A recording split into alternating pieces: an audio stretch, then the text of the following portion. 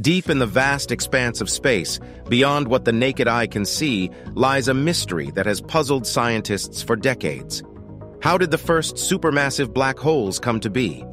For years, astronomers have searched the cosmos for answers, but the truth remained elusive, until now. In this video, I reveal a recent discovery that provides new clues to the formation of these cosmic behemoths.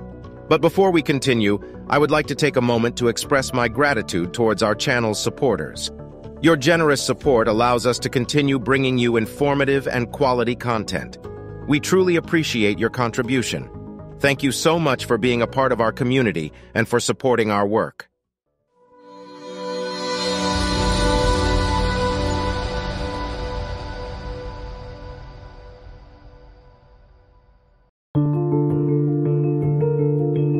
A team of researchers from the University of Texas and the University of Arizona made a groundbreaking discovery. A rapidly growing black hole in one of the most extreme galaxies ever found in the very early universe.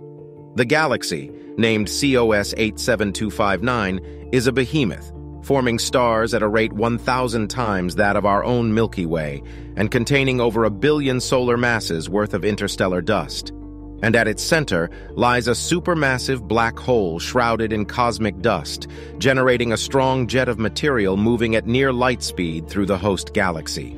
This new type of primordial black hole was found over a relatively small patch of sky, suggesting that there could be thousands of similar sources in the very early universe. This discovery raises several questions about the abundance of very early supermassive black holes, as well as the types of galaxies in which they typically form. The researchers used the Atacama Large Millimeter Array, ALMA, a radio observatory in Chile, to observe the galaxy. They found that nearly all of the black hole's light is emitted in the mid-infrared range of the electromagnetic spectrum, making it difficult to detect. But this wasn't the only surprise.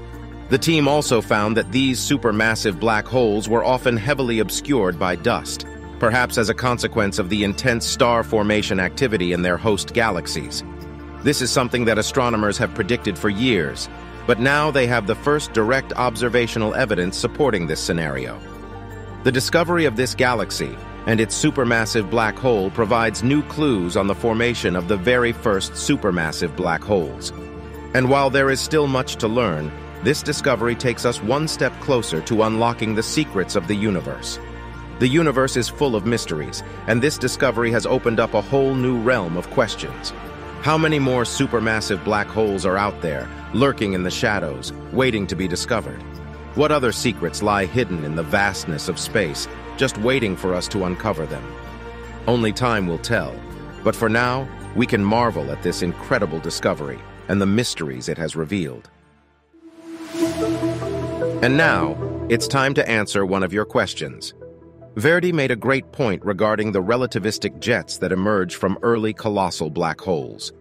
Verdi's query was, how can we determine if the relativistic jets from early colossal black holes are capable of generating heavy metals? That's a great question, Verdi. To answer it, scientists can study the composition of stars and galaxies to see if they contain heavy metals that could have been produced by relativistic jets from black holes. They can also use computer simulations to model the physical processes that take place near black holes and study the resulting effects on matter. While we don't have a definitive answer yet, ongoing research in this field is helping us learn more about the behavior of black holes and the universe as a whole. Thank you for your comment, Verdi, and for keeping the conversation going. And that wraps up today's video. If you have any questions or thoughts you'd like to share, please don't hesitate to leave a comment below. And if you enjoyed this video, please feel free to share it with family and friends who might be interested. Thank you for watching.